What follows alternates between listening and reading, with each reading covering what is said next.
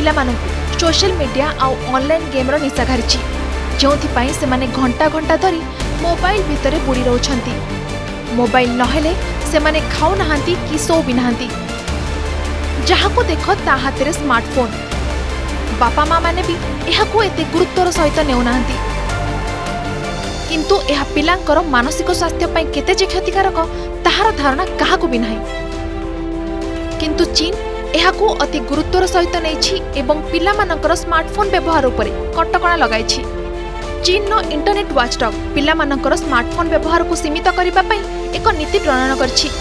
ଚୀନର cyber space administration ଏହାର ୱେବସାଇଟ୍ରେ ଏକ ଚିଠା ମାର୍ଗଦର୍ଶକ ଜାରି କରିଛି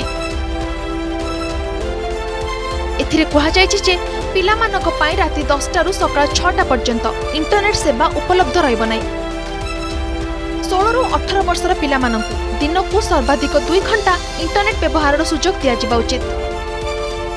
ଆଠରୁ ପନ୍ଦର ବର୍ଷ ପିଲାମାନଙ୍କ ପାଇଁ ଦିନକୁ ଏକ ଘଣ୍ଟା ଏବଂ ଆଠ ବର୍ଷରୁ କମ୍ ବର୍ଷର ପିଲାଙ୍କ ପାଇଁ ମାତ୍ର ଚାଳିଶ ମିନିଟ୍ ଇଣ୍ଟରନେଟ୍ ବ୍ୟବହାରର ସୁଯୋଗ ଦିଆଯିବ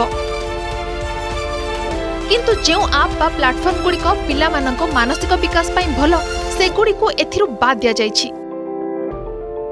ତେବେ ଚୀନରେ ତ ହୋଇଗଲା କିନ୍ତୁ ଆମ ଦେଶରେ ଏଭଳି ପଦକ୍ଷେପ କେବେ ନିଆଯାଉଛି ତାହା ଦେଖିବାକୁ ବାକି ରହିଲା ବ୍ୟୁରୋ ରିପୋର୍ଟ ଆର୍ଗସ୍ ନ୍ୟୁଜ୍ ମନରେ କୋହ ଓ କ୍ରୋଧ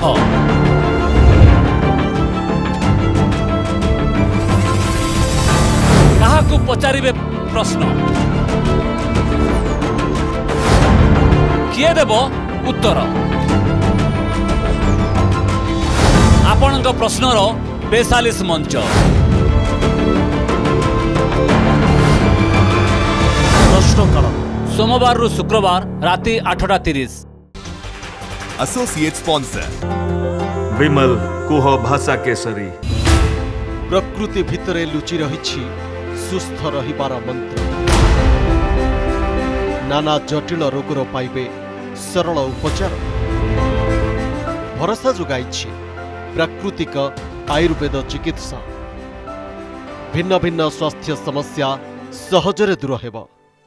ଖୁସି ଖୁସିରେ ବିତାଇ ପାରିବେ ନିରୋଗ ଜୀବନ କଥା ହୁଅନ୍ତୁ